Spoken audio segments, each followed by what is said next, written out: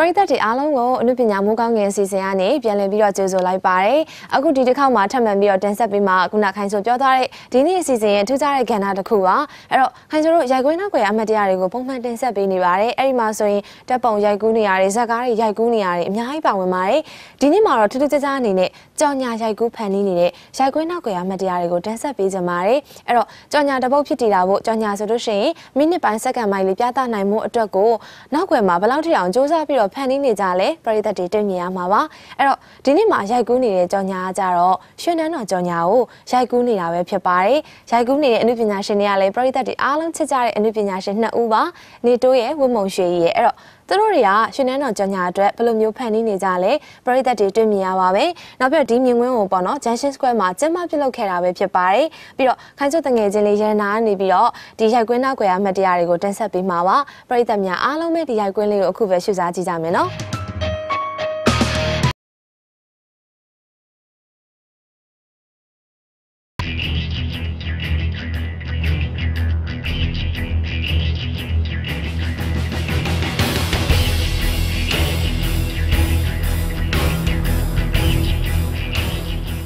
ညာမိုးကောင်းငယ်ပရိသတ်များအားလုံးပဲမင်္ဂလာပါရှင်ဒီကနေ့ရဲ့အနုပညာမိုးကောင်းငယ်ပရိသတ်များအတွက်တင်ဆက်ပေးသွားမှာကတော့ Junction Square မှာဖွင့်လှစ်ထားတဲ့ရွှေနန်းတော်စိတ်ရွှေရနာဆိုင်ရဲ့ရိုက်ကွေးတစ်ခုဖြစ်တဲ့ကြော်ညာ shooting making ကိုတင်ဆက်ပေးကြပါတယ် TV ဖန်သားပြင်ထက်မှာအချိန်ခဏလေးပေးပြီးတော့ကြည့်ရှုရတဲ့ကြော်ညာတစ်ခုကို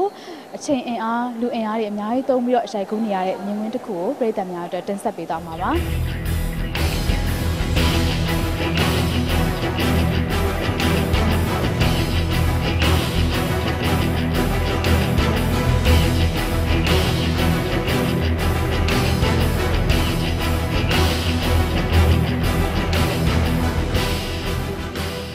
လာပါရှင်မင်္ဂလာပါခင်ဗျာဟုတ်ကဲ့ပါကိုဒီနေ့ပေါ့နော်ရွှေနန်းတော်ရန်နာဆိုင်မှာကိုကြော်ညာရိုက်ဖြစ်ခဲ့ပုံလေးကိုသိချင်ပါတယ်ရှင်အာရွှေနန်းတော်ကအမြဲတမ်းလိုလိုတော့ဟိုဟာကြော်ညာလည်းရိုက်ဖြစ်နေရပါတော့ဆိုတော့ဒါကလည်းသူတို့ဒီ2015ထဲမှာအသစ်ပြန်ရိုက်ချင်နေဆိုတာနဲ့ရိုက်ဖြစ်သွားတာပါဟုတ်ဟုတ်ကဲ့ပါကိုအရှင်ကလည်းရိုက်ဖြစ်တယ်ပေါ့နော်ဒီနေ့2015မှာအသစ်ရိုက်တဲ့အခါမှာအရှင်ကလည်းမတူဘဲနဲ့ဘာတွေကွာခြားသွားလဲဆိုတာလည်းပြပြပြပါအောင်ရှင်အဲ ကွာခြားမှုတွေကတော့ရှိပါတယ်အဓိကတော့ဟိုပါဗောလက်ဝတ်ရတနာဒီဇိုင်းတွေပေါ့နော်ဒီဇိုင်းတွေအများကြီးကွာခြားပါတယ်နောက်ပြီးတော့ရိုက်ကူးရေးဆိုတော့လည်းဒီ quality ဘိုင်းပေါ့နော်ရိုက်ကူးရေးအတွက်ကင်မရာအဲနီးပညာဘိုင်းတွေအများကြီးကွာပါတယ်အဲပြီးတော့ဟိုပါဗောကျွန်တော်တို့ဒီ music ကအစပေါ့နော်ကျွန်တော်တို့တစ်နှစ်တစ်နှစ်ပြောင်းလဲမှုကမတူတဲ့ခါကျတော့ကြောင်ညာတစ်ခုမှာ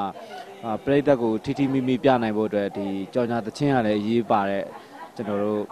ဟိုကဏ္ဍကနေရှိရဲဆိုတော့လေဒီကြော်ညာသချင်းလေးတွေလည်းပို့ပြီးတော့အရင်ကတည်းပို့ပြီးတော့နည်းနည်းလေး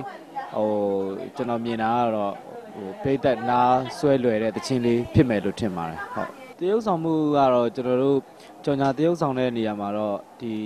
သူ့ရဲ့ schedule တိုင်းပေါ့နော်အတီးကတော့ story book ပေါ့ story book တိုင်းကျွန်တော်တို့ကသွားရတာပေါ့ဆိုတော့သူကဒီထဲမှာကျွန်တော်တို့ဟိုအရင်လိုပေါ့တချင်းတွေအရန်ဆိုပြတာမျိုးမဟုတ်ပဲね အဲကျွန်တော်တို့ရဲ့လှုပ်ဆောင်ချက်တွေနောက်ပြီးတော့ဒီအဲပစ္စည်းတွေရဲ့အဲထားတော်နေရာတွေနဲ့ဒီပစ္စည်းတွေရဲ့ quality ပစ္စည်းတွေရဲ့ design တွေပေါ်မှာပဲကျွန်တော်တို့ဟို highlight လုပ်ပေးတဲ့ပုံစံမျိုးပဲကျွန်တော်တို့အဓိကတရုပ်ဆောင်ထားပါတယ်ဟိုအရင်တော့ရိုက်ခဲ့တဲ့လိုမျိုးနည်းနည်း playback ပုံစံလေးတွေတော့မပါတော့ဘူးပေါ့နော်ဘာလို့ဆိုတော့နည်းနည်းလေးလဲခေပြောင်းလဲလာတဲ့အလျောက်လဲပါတယ်လို့ဟိုပရိသတ်ရဲ့ရှင်ထဲကို ဟိုရောက်သွားဖို့အတွက်ကောနောက်ပြီးတော့ချိန်ကြာကြီးပေါ့နော်ကျွန်တော်တို့ဒီကြော်ညာတစ်ခုကအာပြိသက်မယိုးဤသွားဖို့အတွက်ကိုအများကြီးစဉ်းစားထားရလို့ကျွန်တော်မြင်ပါတယ်ဒါဒရိုက်တာဘိုင်းကပေါ့နော်အာတရုပ်ဆောင်မှုအပိုင်းကတော့ကျွန်တော်ကျွန်တော်အနေနဲ့ကတော့အမြဲတမ်းတော့ဒီလိုပဲစူးစမ်းပြီးတရုပ်ဆောင်ပါတယ်ဗျဟုတ်ဟုတ်ကဲ့ပါကိုကုလိုမျိုးဖြေချပေးသွားတဲ့အတွက် MRT4 မှာကျေးဇူးအထူးပဲတင်ရှိပါတယ်ရှင် ဟုတ်ကဲ့ပါကျွန်တော်ကလည်းကျေးဇူးအများကြီးတင်ပါတယ် MRTV4 ကိုကြည့်ရှုနေတဲ့ပရိသတ်ကြီးအားလုံးကိုလည်းကျေးဇူးအများကြီးတင်ပါတယ်ခင်ဗျဟာအားလုံးပဲကျမ်းမာချမ်းသာပြီးတော့လူအင်စာတန်းနဲ့ကြိုးရပါစေလို့ပဲဆုတောင်းပေးပါတယ်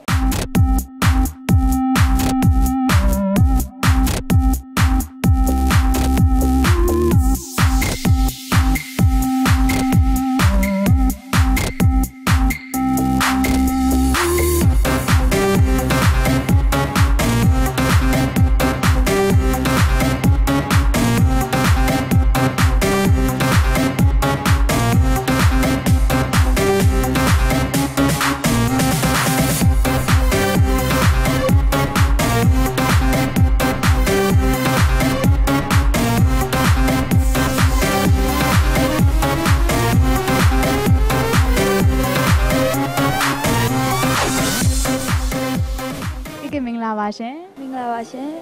ဟုတ်ကဲ့ပါဒီနေ့ပေါ့နော်ရွှေနန်းတော်ရန်နာရွှေဆိုင်မှာဟိုခဏခဏလေးတရုတ်ဆောင်ခဲ့ပါတယ်ဒီနေ့ကြော်ညာရိုက်ကူးဖြစ်ခဲ့ပုံလေးလည်းပြောပြပေးပါအောင်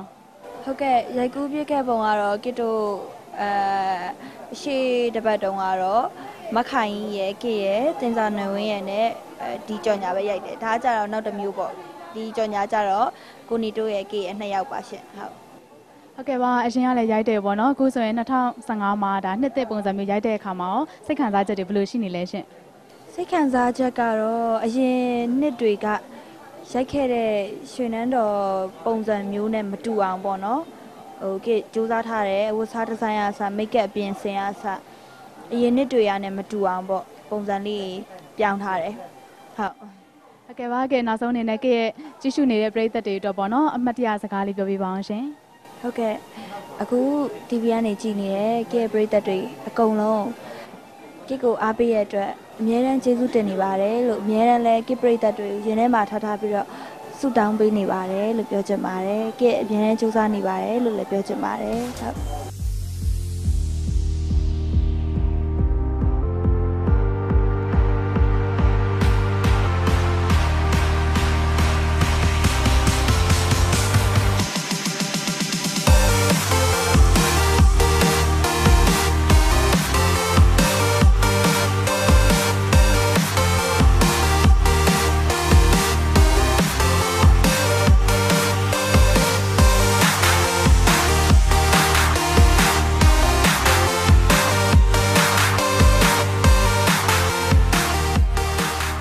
ကိုရီးယားရွှေနန်းတော်စိတ်ရွှေရတနာဆိုင်ကြောညာအကယ်ဒမီနေတို့အကယ်ဒမီဝတ်မုံရွှေတို့နဲ့အကိုတီးတလောက်2021ခုနှစ်ဧပြီသကြံမတိုင်ခင်ကရိုက်ခဲ့တယ်ညီမအခုဆိုတော့၄နှစ်နီးပါးရှိပါပြီပေါ့လေဒီနေ့ ဒီတစ်ခါမှာဒါပေမဲ့အကိုတို့ကဒီရွှေနန်းတော်နာမည်အနီးနဲ့ပဲရိုက်ခဲ့တာနောက်တစ်ခုကကျတော့အကိုတို့ဒီ2021ခုနှစ်နဲ့အခု2015ခုနှစ်ဆိုဂျားထဲမှာ၄နှစ်လောက်ခြားသွားပြီလေညီမအဲ့ဒီ၄နှစ်ခြားသွားတဲ့အတော်တွင်မှာအကိုတို့ရဲသနာလောကလည်းအစဉ်အမြဲပဲပြောင်းလဲနေတယ်ညီမအဲ့ကြင့်အခုအချိန်မှာဟိုလက်ရှိ trend ပေါ့နော် trend မှာအပြင်မှာလက်ဝိရဲသနာတွေဘလို့ဝစ်စင်နေတယ်ဆိုတာခစ်တခစ်ကိုထင်ဟပ်ပြသခြင်းတဲ့အတွက်ကြောင့်အကိုတို့ကကြော်ညာကိုထပ်ပြီးတော့ရိုက်ကူးရခြင်းဖြစ်ပါတယ်ညီမ